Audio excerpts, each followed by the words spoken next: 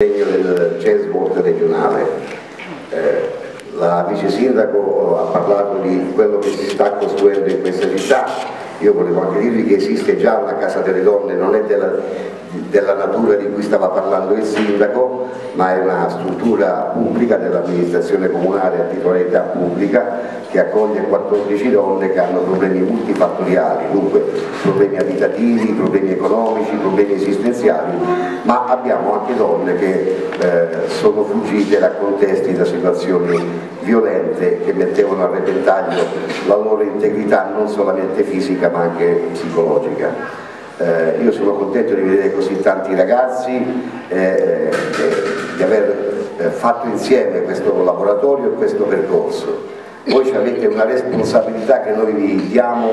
tutta integralmente, quella di ricostruire un sistema di relazioni dove la gentilezza, il rispetto, la cura siano fondamento nelle relazioni umane ma soprattutto nelle relazioni fra uh, uomini e donne. Eh, Francesca ha citato quanto accaduto eh, qualche giorno fa a Livorno, eh, in concomitanza quasi con questa giornata, ecco, quello ci rimanda in faccia in maniera violenta e brutale che alcune realtà esistono e sono molto amplificate, vengono fuori quando la cronaca ci consente eh, di poterle conoscere, ma ce ne sono tantissime ancora che si consumano dietro quella porta che si chiude a una certa ora del giorno o della notte e dove accadono spesso eh, atti di violenza nei confronti di donne e minori importanti e difficilmente riscontrabili. Voi ragazzi siete davvero eh, il il germoglio, il germoglio nuovo sostanzialmente, a voi la cura di costruire eh, una modalità di stare insieme eh, condivisa,